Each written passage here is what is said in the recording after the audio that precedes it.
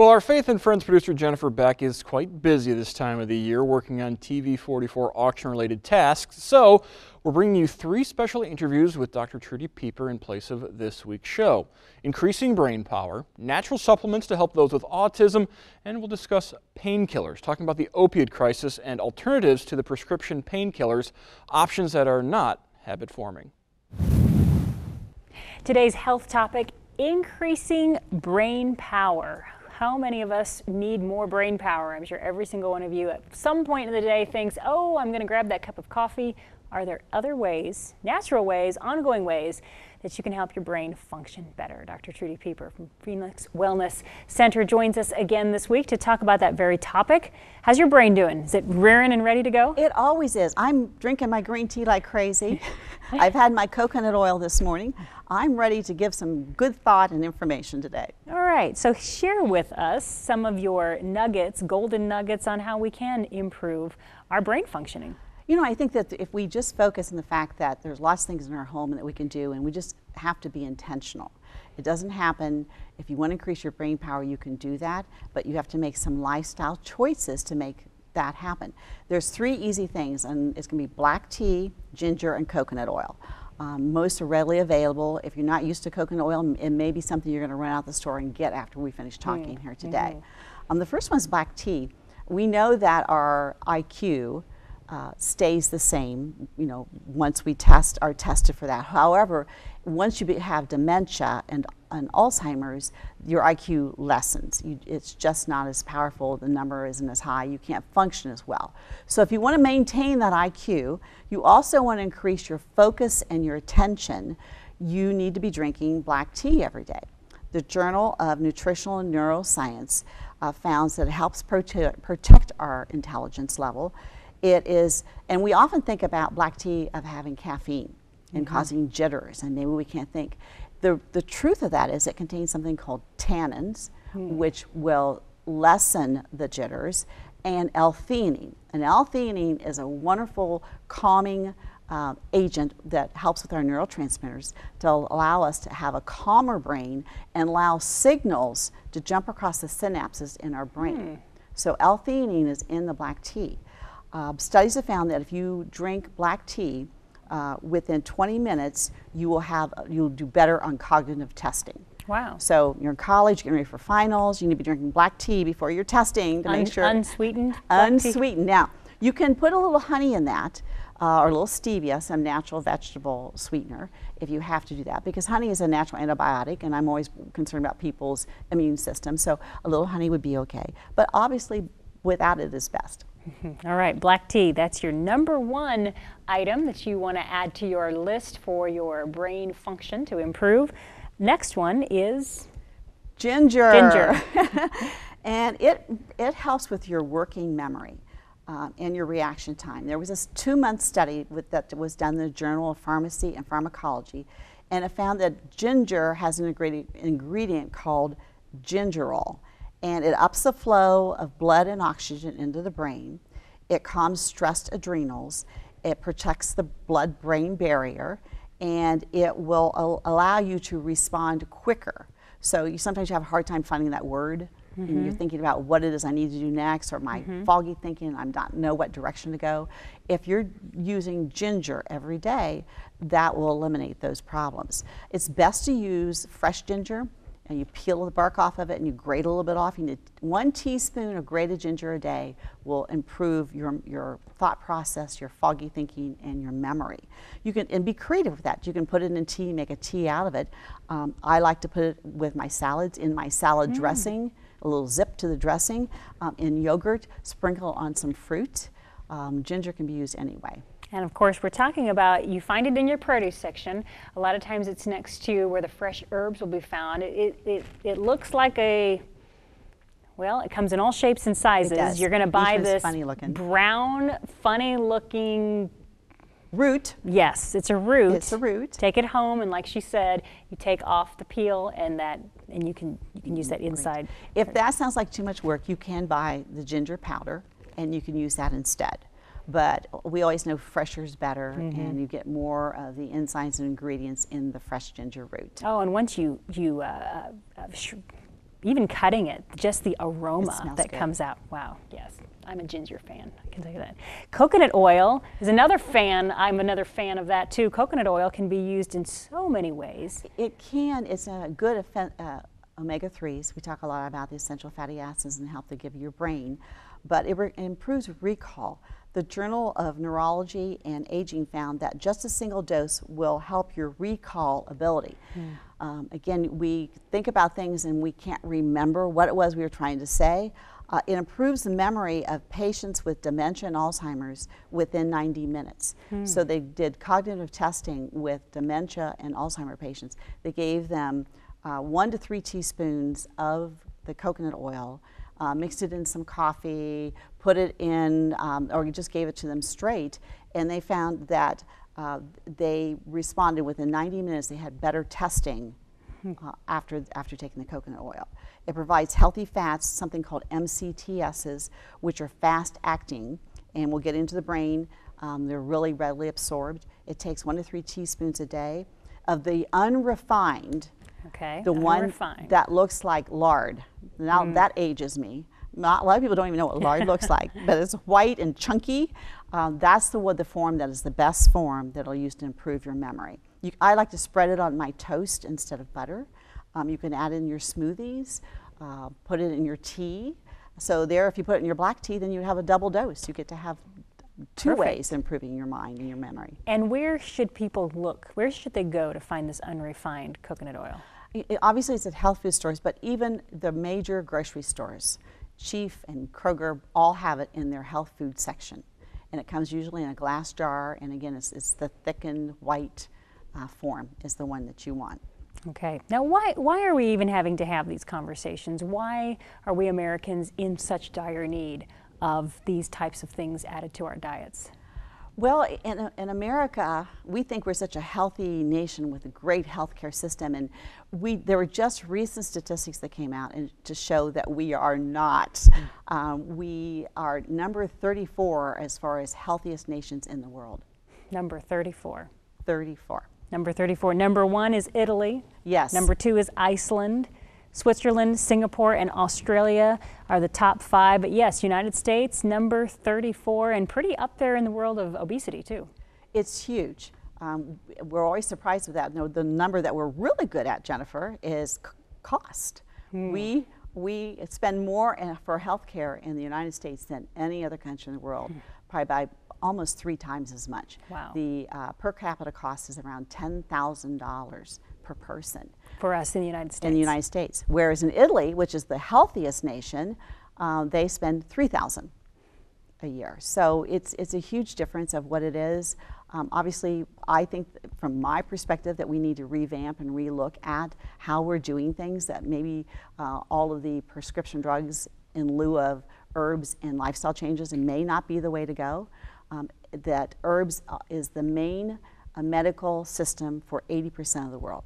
80% of the world only uses herbs and lifestyle changes, not drugs. So we're pretty much the primary user of the drugs in our country. The 3.3 trillion dollars a year are spent in the United States on health care. The majority of that goes to hospitals, next to doctors, and then finally to the, the pharmaceutical companies. Wow. So um, it's things that uh, we can change. Uh, one of the things I think, okay, now why do we think that Italy has such a great health system? What are they doing different than we're doing? What do you think? Well, they uh, they live closer to the water, at least for at least closer than we do here in Ohio. And because of that, they eat more fish. And, and fish has essential fatty acids, which we mention a lot, um, are great for the brain. But they have the Mediterranean um, diet, which is based upon the Medi- Mediterranean Sea. And with that diet, which is also the diet that the Arthritis Foundation recommends for, for arthritis, arthritis people, particularly rheumatoid arthritis, if you follow the Mediterranean diet, that you will have less symptoms with your RA. But the big difference there is when we look at on a daily schedule of what you eat in the Mediterranean diet, you eat three fruits a day and you eat three cups of vegetables a day. Mm-hmm. Now, three cups, knowing that a half cup is a serving, would be actually six servings of vegetables and three servings of fruits. So they're getting nine servings of fruits and vegetables every day. The average American does one serving of either fruits or vegetables each day. Wow. So that makes a huge difference right there, why they're number one and we are not. They also put a lot of uh, emphasis on olive oil. They have olive oil with two of their meals. So either it's on a salad or they stir fry their vegetables in it. They cook only with the olive oil. And olive oil, besides being essential fatty acid, also helps the liver and the gallbladder to work better. So now they're eliminating excess estrogens. They're uh, making the liver being able to purify the blood more quickly.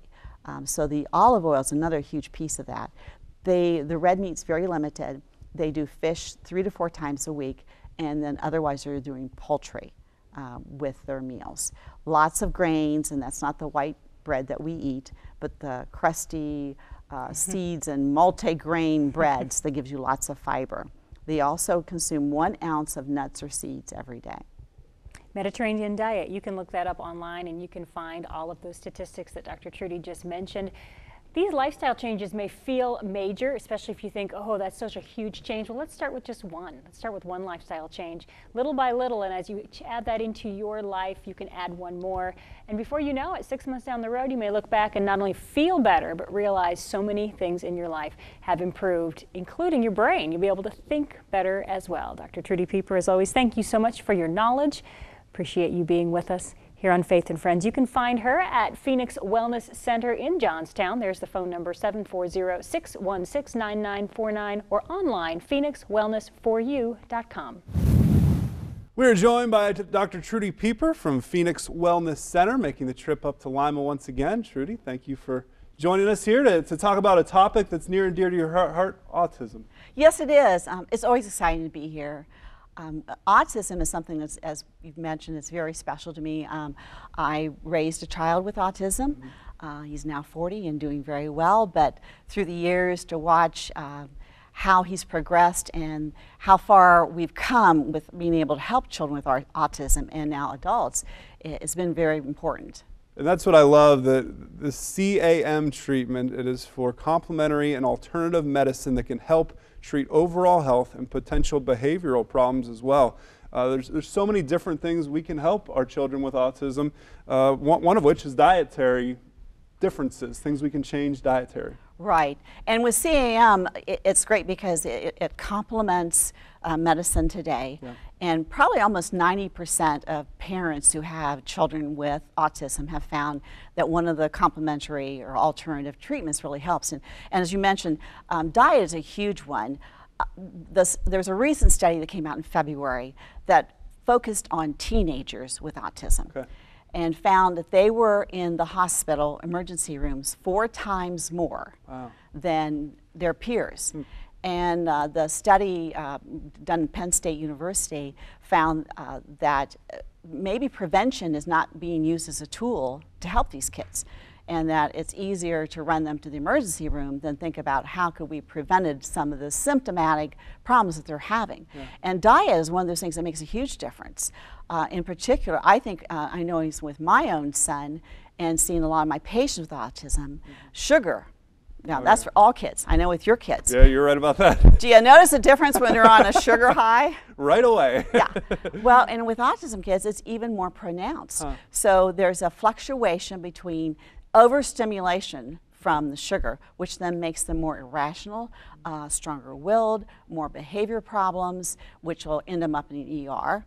And then the other thing is, of course, what happens after they've been eating all this sugar and they don't have it? Their blood sugar drops. Crash. Yeah. There's a crash. And that could cause dizziness and foggy thinking, mm. and they can't think clearly, and they're upset and more grumpy. And those will also end up. So, by restricting sugar in the first place, and making sure that if your child has autism, that they're very limited amounts.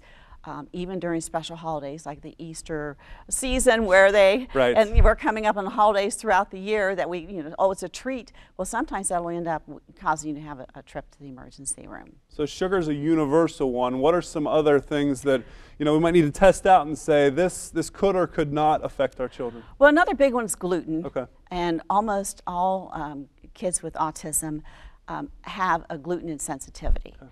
And it's one of those things you need to trial and error and test and see. But they find that after they eat gluten, there is, a, they find a stronger behavioral uh, tendencies. So they're going to react more strongly because of the gluten in their system. Another big one um, is dairy or cow's milk. Okay. Uh, it also it contains a, a protein called A1 um, casein, and that will also trigger a major behavioral issues in children. Okay. So watching that. Also, the cow milk also causes constipation, and probably the number one problem for autism or kids with ADD or ADHD mm. that why they're more angry or more mean or upset or harder to discipline is because they're constipated. It's the number one problem with autism kids is Really? constipation. And I find almost universally it is dairy is the issue. Okay. Because today we put cheese on everything. We do. It's, it's just a cheese world, and that's dairy, and that's a problem for them. Huh. Um, and a couple other things, though, and, and this not only is for autism kids, but I think for everyone, Okay. kind of like the sugar, are the, the food additives and colors. Oh, yeah. So, food dye red number three, nobody should have that. Why is this even in existence? That's what I want to know. Why do we care that something's red? And, you know, very red. and so Unnaturally red. unnaturally red. What in nature is red or blue that you eat? So putting those, t- and, and kids with autism are so sensitive to chemicals. And so you put that in their food and they get that, and that overstimulates them again. Aggressive behavior could be traced many times to different um, additives in processed foods is with, that. And one that's kind of unu- uh, unique and unusual, I think, that most people don't think about finally with, with diet, and all these are avoidances, things Right. you need to avoid, would be soy. oh, really? And you wouldn't think of that. You think it's a, it's a bean and Right. it should, or lentil and it should be very healthy, healthy, but it has something called phytic acid in it, and it actually aggravates the lining Okay. of the colon. And then again, they're so sensitive. Anything that is aggravating or irritating that is going to cause them to be a little more irritated and a little more upset. Um, eventually causes leaky gut, which then causes some more autoimmune problems, which could cause pain like arthritis or fibromyalgia. So just avoiding soy is just a good idea. Okay. There's also some supplements that we can touch on, and we always want to remind you to talk to your doctor before changing your child's treatment, diet, or lifestyle. We want you to work in partnership with the doctor that's already working with your child or, or your uh, student with autism. But there are some nice supplements that we see some good effects from. Absolutely. You know, the- autism has been around. The first diagnosed case was in 1938.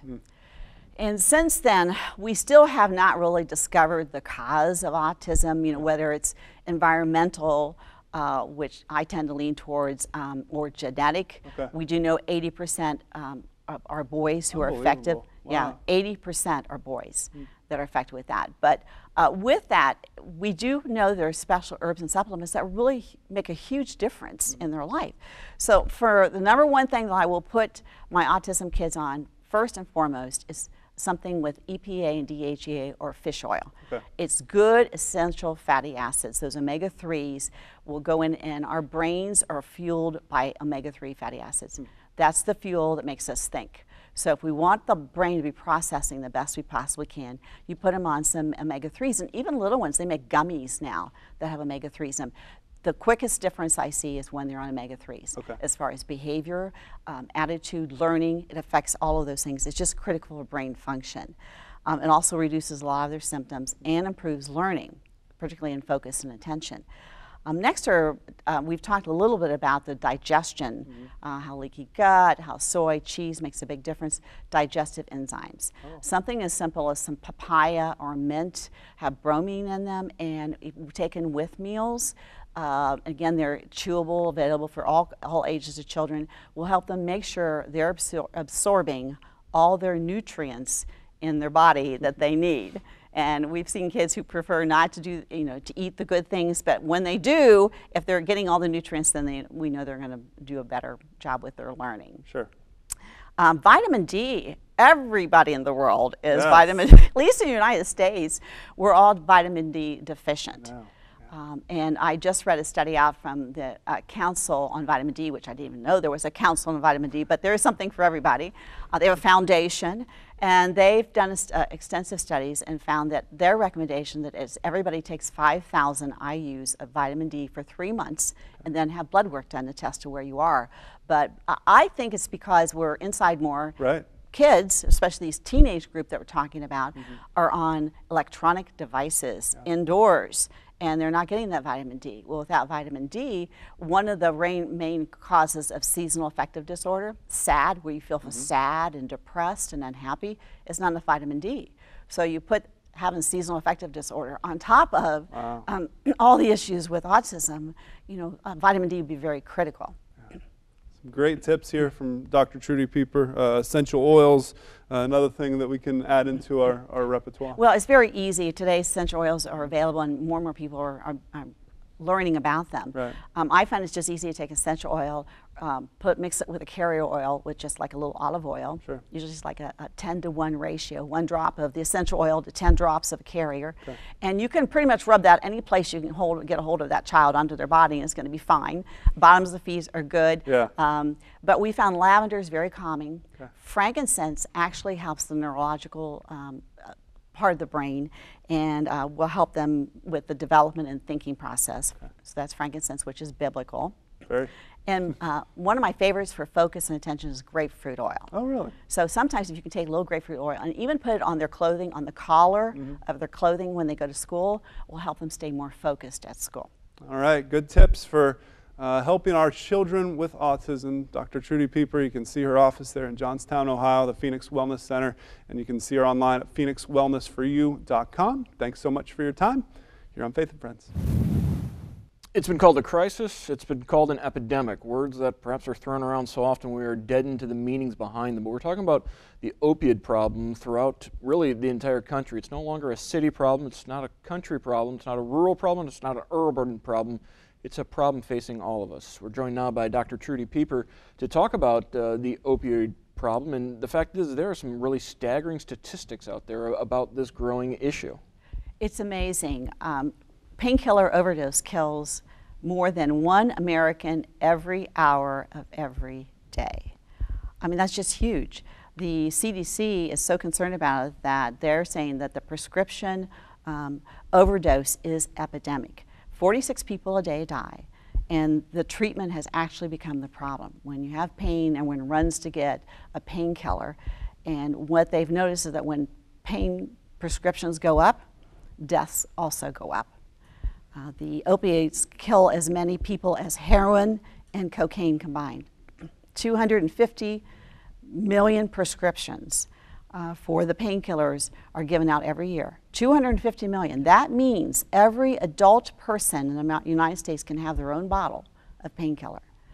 Um, the 10 highest prescribing states are found in the South Alabama, Tennessee, and West Virginia. But those of us in the Midwest are not exempt. We're the next three. Ohio, Indiana, and Michigan give out someplace between 100 and 143 prescriptions for every 100 people. Uh, it continues to grow. I think the common drugs that people are most familiar with are methadone, oxycodone, and hydrocodone. Um, the emergency rooms are laden with a thousand people each day per emergency room uh, come in because of pain reliever overdose. Over 2 million people are determined to be addicted or dependent upon the painkillers, and overdoses and deaths have quadrupled since 1999. You know, and we hear about this, and I think a lot of people, the, the thought is, oh, well, you know, prescription drugs, well, it can lead to other things. But what the stats are telling us is that it's deadlier to be addicted to painkillers, to prescription drugs, than it can be to heroin or cocaine. Exactly. There are more people who die from that than put the, the other two together. Um, it is, it, it, we, we've gotten very convenient. Um, every ill ache and pain, we want to have a painkiller. We run to the doctors, they prescribe them. Uh, the drug companies are glad to accommodate that. But at the end of the day, it is not helping us, it's not helping our body. And the addiction to that, uh, in addition to the harm it's doing to the body, is, is, is just terrific with that. And it's unnecessary.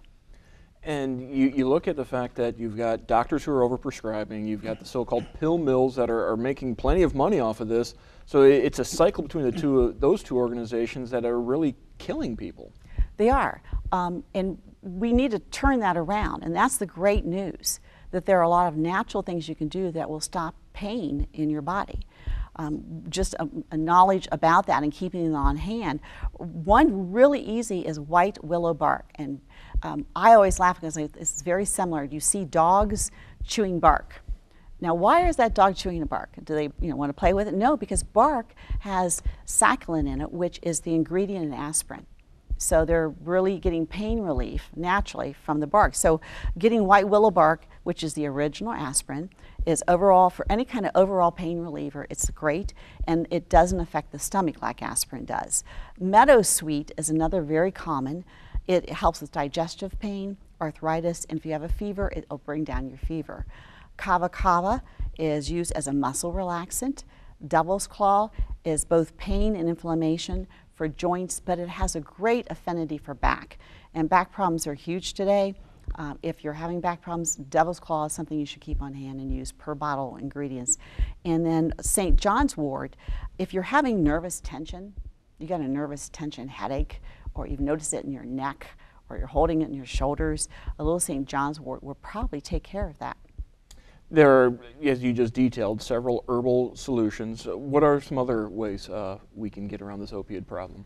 Well, and another, there's two more herbs I like to mention because they're the most powerful.